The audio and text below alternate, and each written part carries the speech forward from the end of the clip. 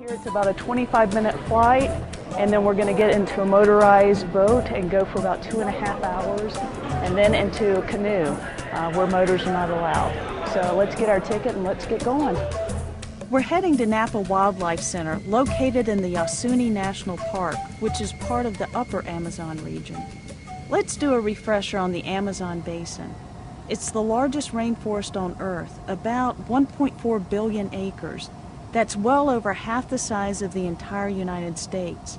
Unfortunately, since the 1970s, the Amazon has lost more than 200,000 square miles of forest. We've reached Coca, one of Ecuador's three frontier towns to the Amazon. Coca has developed as a result of the oil industry. It's difficult to believe that this town was once primary Amazon rainforest the home of countless animals, plants, insects, and part of perhaps the most incredible natural laboratory on our planet.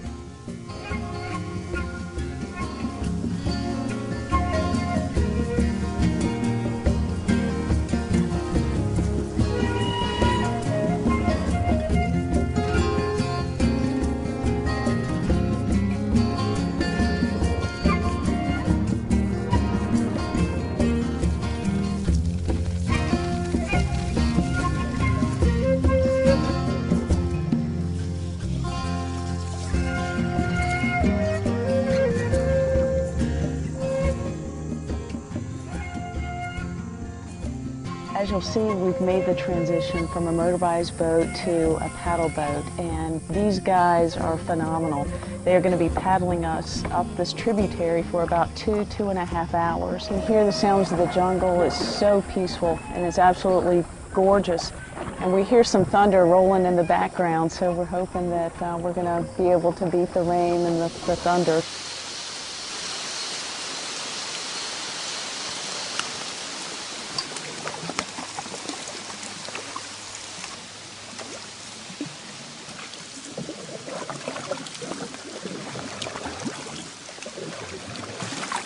Much better than swimming in here. Stingrays and electric eels and speckled and black caiman and piranhas and I think we're better off in the boat.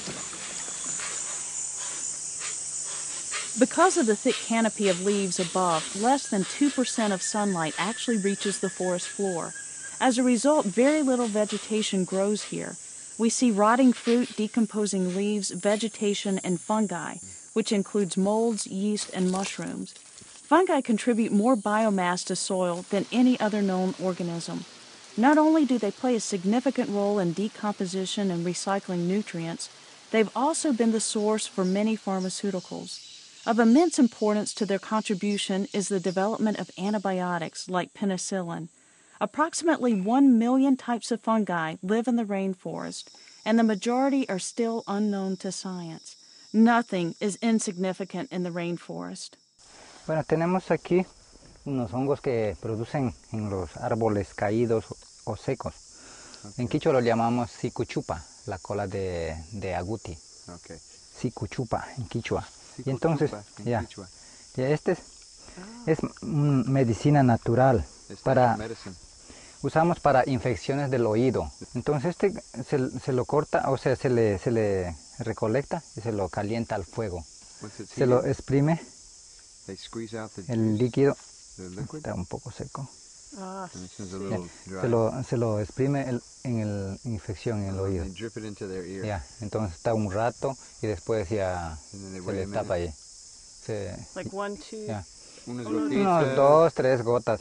Entonces Two, tiene three bastante gotas. ampicilina. Si puedes smell. Ah, Mm. it's got Sí. a lot of ampicillina. Ujú.